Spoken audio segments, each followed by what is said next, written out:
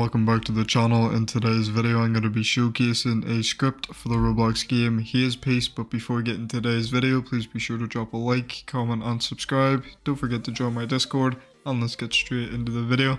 So first of all what you guys want to do is go to the link in the description which will bring you to my website. From there go to the scripts page, click on any post, scroll down, get script.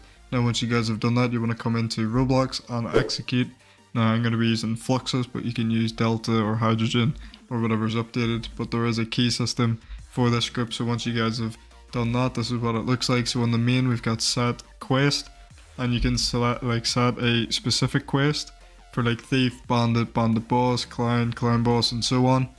But we're going to do auto detected level, but there is a choice to do no boss, but we want to do the boss. Then set our weapon, you can do melee, sword, or fruit. We're going to do melee um, set type above, below, behind. So we're gonna just leave it at above.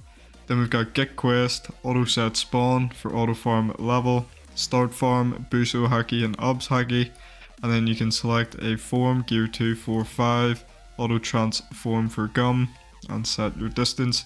So what we want to do here is set on auto set spawn and start farm. So let's go ahead and do that. So we'll go ahead here and get us a quest and then it will move on to the next bandit or whatever mob that uh, you are fighting for your level. Mine's currently the bandit because we're only level 11. Now it is taking me a while to kill these bandits and if I forgot to mention it is L to close and open the UI. If we come into skills or stats sorry you want to put them on combat so we uh, come to our stats, it will put all of our stats onto combat. Well, it should anyway.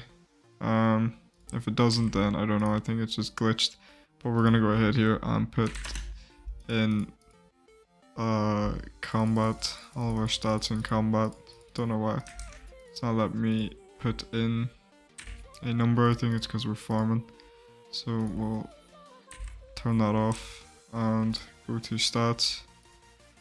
And put in 33 and then when we farm it should you know farm a lot easier. Now I'm not sure why the stats aren't actually working. I think it's just a glitch or something like that but once they do uh, fix them or if it's bugged then um, I recommend having that on as well so if we come to main 2 we've got select a special boss Whitebeard and Mace Boss. Um, you can start a farm, you can do Super Boss.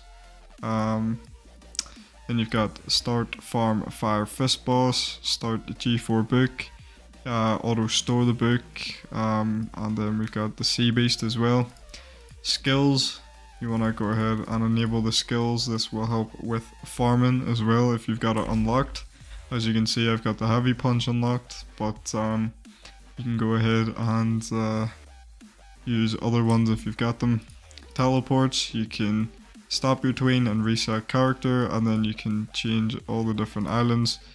And once you select one you can teleport there but we're not going to do that just yet. Then we've got Sea 2 teleport to gear 5 teleport to candy market and it looks like we've accidentally teleported so that's fine we'll just turn off the farm um, let's just go to Bubble Island real quick. So it will take us towards an island and it should just um, stop somewhere here. There we go. And if you cannot move around, then I do recommend just pressing stop tween and it should fix it. So these are all Sea 1 uh, places that you can go to. I already showed you the bubble world. Um, buy item, you can select a fruit to buy. You can open the fruit shop, as you can see here.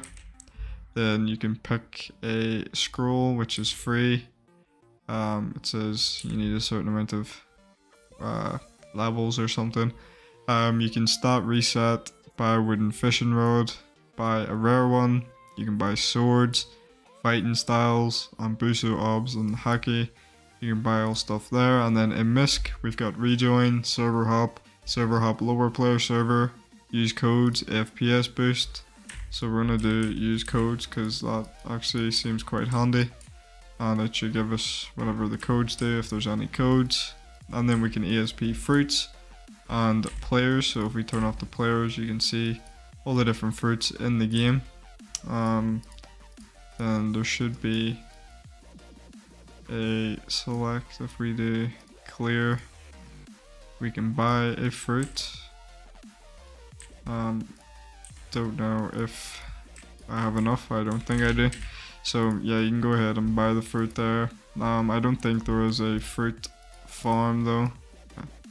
Yeah I don't think there is but that is basically everything in today's video. So if you guys did enjoy then please be sure to drop a like, comment and subscribe and I'll see you guys in the next video. Bye bye.